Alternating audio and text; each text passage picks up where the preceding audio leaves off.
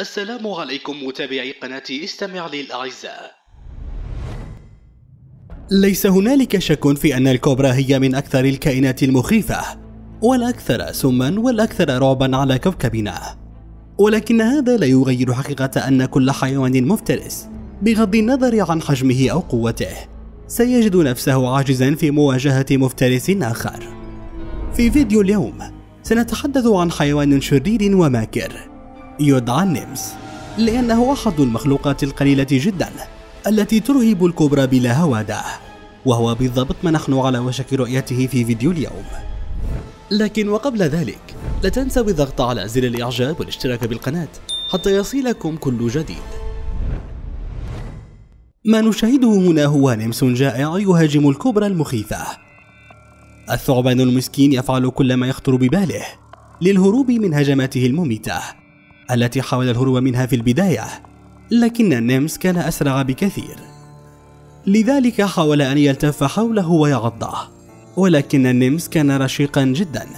لذلك لم يجد صعوبة في هزيمة الثعبان لأن حركته السريعة جنبا إلى جنب مع مرونته إله مكنته من تفادي كل هجمات الثعبان. وهو النمس يظفر بوجبة غذائه الطازجة. حدث شيء مشابه هنا. عندما اكتشف نيمس كوبرا صغيرة تتجول في مزرعة وقرر تناولها في وجبة الغداء. كان هذا الثعبان أصغر بكثير من الأفعى السابقة وكان أسرع بكثير وله القدرة على التهرب من هجمات النمس التي كانت من الصعب للغاية أن يتفاداها أي حيوان مفترس. الأشخاص الذين كانوا يصورون حاولوا وخز الثعبان بعصاه واستغل النمس هذه الفرصة لينقض على الأفعى وتكون وجبته القادمة. في مشهد آخر كان هذا الثعبان بطيئا جدا عند محاولة لدغ النمس. وتمكن النمس من إبعاده عن موقعه الدفاعي. فحاول الثعبان الزحف بعيدا على امل العثور على مكان للاختباء. ولكن النمس لم يسمح له بالابتعاد كثيرا. لم يتوقف ابدا عن مهاجمة الافعى ولا حتى للحظة واحدة. بل بدأ في أكله بينما كان لا يزال على قيد الحياة. لقد كان قويا جدا لدرجة عدم السماح لمثل هذه الوجبة اللذيذة بالذهاب بعيدا. تم تصوير هذا المقطع في بعض القرى في الهند حيث تجمع السكان المحليون لمشاهدة وتصوير واحدة من أكثر المعارك الملحمية بين النمس والكبرى وكان يوما ممطرا كان الطريق مليئا بالبرك التي ساعدت الكبرى على البقاء لفترة أطول. هجمات النمس لا هوادة فيها كالمعتاد.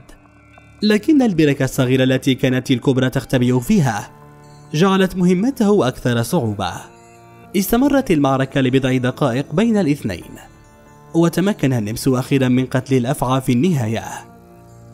ثم جر فريسته إلى الغابة حيث كان يأكلها بسلام.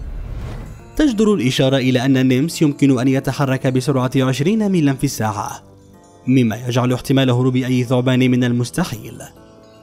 لكن خفة حركتهم ليست سرعتهم فحسب بل هي سلاحهم الرئيسي حيث لا يمكن لأي ثعبان مواكبة حركتهم السريعة وهجماتهم السريعة الخاطفة. لم تكن هذه المجموعة قادرة على الاقتراب من الثعبان.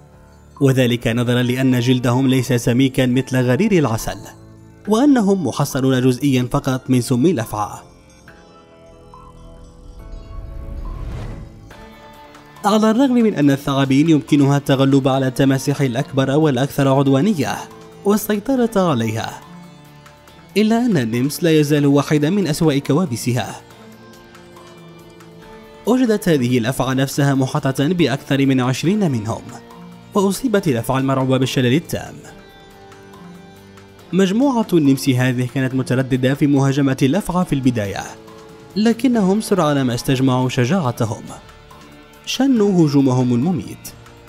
وبدأت مجموعة النمس في مهاجمة الثعبان بلا هوادة وكانوا يمزقونه حرفيا.